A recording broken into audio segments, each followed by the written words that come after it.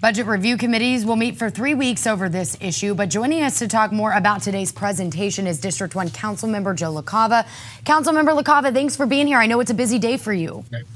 Thank you, Henry. Always happy to talk with KUSI. Yeah, let's break down uh, your thoughts on today's presentation. Obviously, no action was taken. What was the temperature from people who were there and maybe other council members about what their thoughts on uh, are on the direction this budget's going?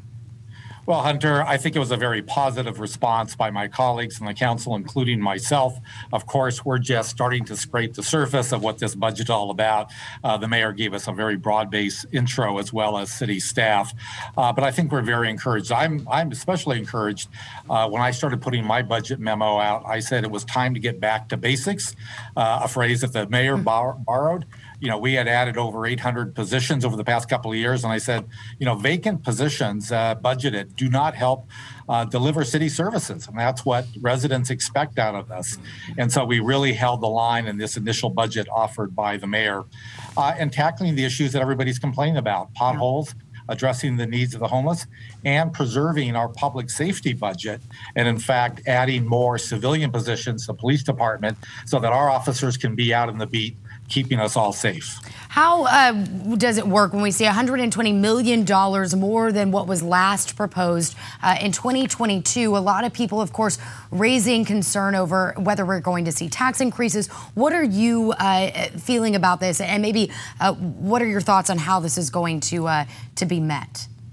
Well, what we're looking to be laser focused is we have to deliver a, bu- a, balanced budget. So, come June, when that final budget is adopted, it has to be ba- balanced. Uh, we do have a little bit of federal dollars left over uh, from the relief funds during COVID. Uh, we're going to be using the last of that. So, we have to be very, very judicious in terms of how we set our budget. 120 uh, million is certainly a big number. It's a small percentage of the total $5 billion budget as you described. Sure. Uh, but I, you know, I think all the council members are being very thoughtful and careful about, we don't have a lot of room to maneuver in this year's budget. Uh, we're hoping for some increases in revenue, both in uh, property tax, sales tax, and mm-hmm. TOT taxes as we come out of the impact from COVID. Uh, and we're starting to see some very predictable increases. And so we think that will really carry uh, the conversation going forward. But there's really no room for uh, council members to try to get in more pet projects going right. forward. A lot of ideas I have, I'm, I'm going to have to put aside mm. To make sure that we balance that budget come June. Because, of course, everybody watching this right now, as you mentioned, uh, with changes from the pandemic also impacting where revenue is going to be seen. Uh, any last thoughts, anything that you're expecting to see maybe as we start heading into those review uh, meetings in the next week or so? Do you think we're going to see a very different budget when it's adopted, or do you see it sticking pretty much to what we have now?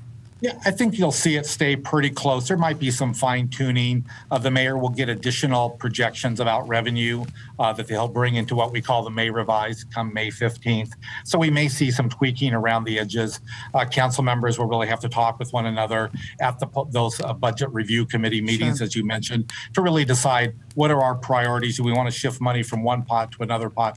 But there really is not going to be any opportunity to, to ask for new things that are not already presented in the current proposed budget.